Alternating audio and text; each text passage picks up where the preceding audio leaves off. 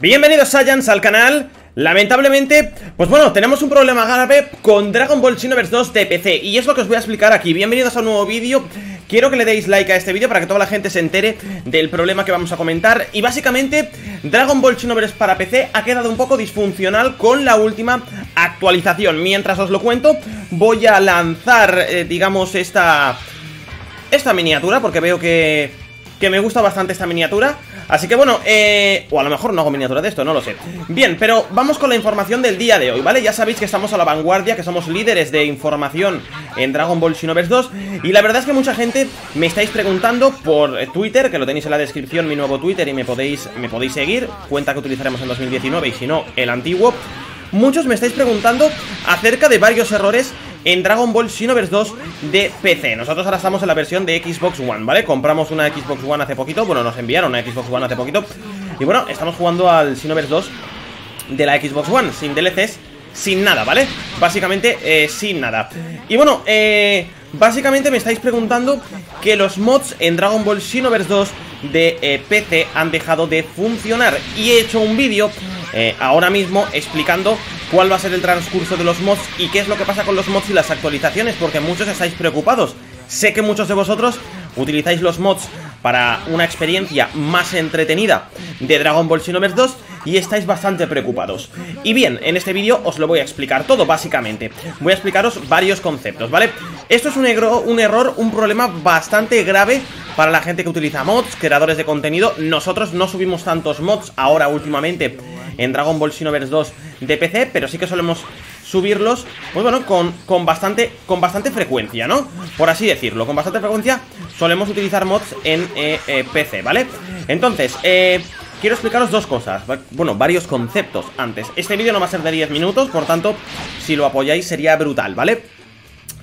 Voy a explicaros varios conceptos. Uno, los mods en Dragon Ball Xenoverse 2 eh, o el juego para PC, si lo queréis buscar muy muy barato, lo podéis encontrar en la descripción, ¿vale? Tenemos unos links a Instant Gaming, eh, que es la plataforma donde yo tengo registrado un producto, ¿vale? Y podéis comprar el juego original, compatible con Steam, en el cual hasta ahora se podían instalar mods. También se pueden seguir instalando mods o se van a seguir instalando mods, quiero pensar, ¿vale? Pero vamos a la siguiente parte. Normalmente el instalador de mods va actualizándose, ¿vale? Perdonad que os esté hablando mientras estoy haciendo un gameplay porque así voy adelantando y así voy adelantando lo que viene siendo, pues bueno, pues gameplay de la historia. Toda esta historia ya la habéis visto, por eso, por eso la paso, ¿no? Por eso le doy al start y la paso. Bien, vamos por partes. Cuando el Dragon Ball Xenoverse 2 en PC se actualiza en una versión, siempre hay que esperar, eh, básicamente, a que los moderadores, eh, los desarrolladores de la aplicación... Eh, que se ocupa de modear el juego, saquen una actualización. Vamos a empezar por el principio. Para instalar mods en Dragon Ball Xenoverse 2, únicamente necesitáis el Xenoverse 2 Installer. Es una aplicación que ha creado un desarrollador en la cual podemos instalar mods de forma rápida y sencilla en Dragon Ball Xenoverse 2. ¿Qué pasa? Que esa eh, actualización, esa programación de, digamos, de programa para, poner, para poder instalar mods, tiene su versión que va a la par, va, eh, digamos, de la mano de la versión de Dragon Ball Xenoverse 2 que estemos jugando. Es decir, actualmente el Xenoverse 2 Installer, el del instalador de mods, tiene la versión 2.8, ¿vale? Entonces, eh, digamos que la versión 2.8 iría con la versión 1.9 del juego, por así decirlo, ¿vale? Es un ejemplo. Ahora, han sacado la 1.10. Pues bien, es normal que el programa presente incompatibilidades o que no se puedan ejecutar los mods. Nosotros si ejecutamos ahora el Dragon Ball Xenoverse 2 para, para PC y lo tenéis con mods, si ejecutamos, si ejecutamos el bin, digamos, de, de, del programa para iniciar los mods o iniciar el juego, va a poner un mensajito en el cual nos dice que eh, el Xenoverse Mod Installer no soporta la versión 1.10.2 creo que es o algo así Básicamente que el instalador de mods no funciona ¿Qué es lo que habría que hacer? Pues bueno, estamos a la espera de que Eternity que es el que ha creado toda esta parafernalia del instalador de mods de Dragon Ball Xenoverse 2, saque una nueva versión, ¿vale?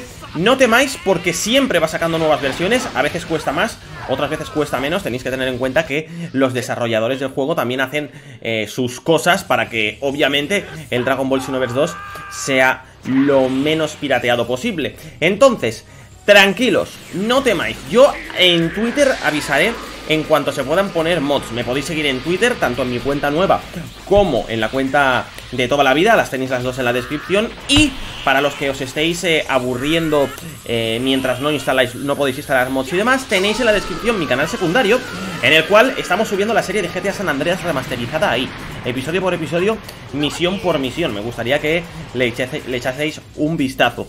Deciros también que pronto haremos un directo de Xenoverse 2 en el cual vamos a intentar, ahora sí, eh, utilizar las figuras del modo héroe coliseo para ganar el trofeo que nos queda de Dragon Ball Xenoverse 2 y que el viernes, si todo va bien, utilizaremos, eh, bueno, empezaremos a jugar el Red Dead Redemption 2 en directo aquí en este canal, ¿vale?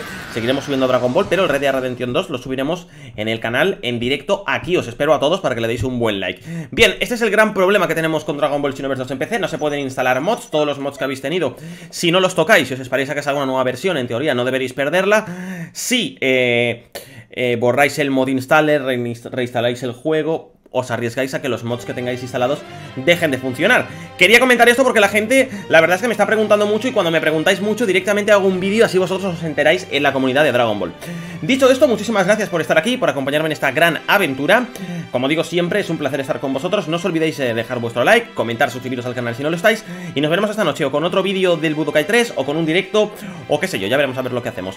Muchas gracias por estar aquí, nos vemos en el siguiente vídeo. Hasta la próxima, Saiyans. Chao, chao.